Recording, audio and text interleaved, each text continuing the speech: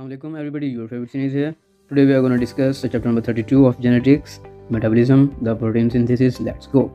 Genetic code just आपने read करना है इसका आपको कॉन्सेप्ट पता हो कि कोडोन जो है वो क्या होता है उसकी डेफिनेशन और उसमें कितने बेसिस रिक्वायर्ड होती हैं उसके प्रोडक्शन के लिए ठीक है और उसके बाद कैरेक्टरिस्टिक्स जो हैं वो आपने अच्छे से करने हैं इनके आपको नेम्स पता हों और इनका फ़ंक्शन पता हो ठीक है कैरेक्टरिस्टिक्स मेन और उसके बाद consequences of alternative nucleotide sequence आपने अच्छे से करने हैं ठीक है, ये काफ़ी इंपॉर्टेंट हैं। फॉर एग्जांपल म्यूटेशन की टाइप्स ये आपने अच्छे से करनी है, उसके बाद अदर म्यूटेशनल टाइप्स भी आपने करनी है, ठीक है, ये काफ़ी इंपॉर्टेंट है टॉपिक फ्रेमशिप म्यूटेशन भी करना है आपने स्प्लाइसाइड म्यूटेशन भी करनी है, उसके बाद components required for the translation इनके जस्ट आपने नेम्स करने हैं। For example amino acids transfer आ रहे हैं अमाइनो साइड ट्रांसफ़र आ रहे सिंथेसिस हमें चाहिए होता है मैसेंजर आ रहे हैं राइबोसोम्स इनके जस्ट आपने नेम्स करना है। लेकिन यहाँ से आपने A P and E sites जो हैं, इनका फ़ंक्शन आपको पता हो कि ए साइड पर कौन सा ट्रांसफ़र आने ऐड होता है पी साइड पर कौन सा ट्रांसफ़र आने आता है और उनका फ़ंक्शन क्या होता है, ये आपको बताओ, ठीक है?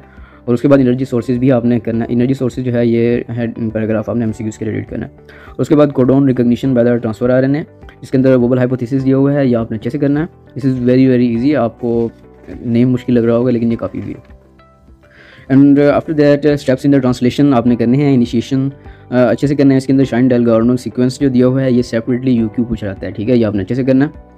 और उसके बाद फाइव के ऐप इनिशिएशन कोड ऑन भी ये वाला भी आपने स्टेप्स करने हैं इलोंगेशन वाले भी आपने सारे करने हैं दिस आर वेरी इंपॉर्टेंट और उसके बाद यहाँ पर ये जो दिए हुए हैं डिफरेंट एंटीबायोटिक्स और उनके इफ़ेक्ट्स क्या होते हैं इनिशिएशन पर किसका इफ़ेक्ट इलोंगेशन पर होता है किस एंटीबायोटिक uh, का इफ़ेक्ट जो है वो टर्मिनेशन पर होता है, किस एंटीबायोटिक का इफ़ेक्ट इनिशिएशन पर होता है। जस्ट आपने ये देखना है, ठीक है?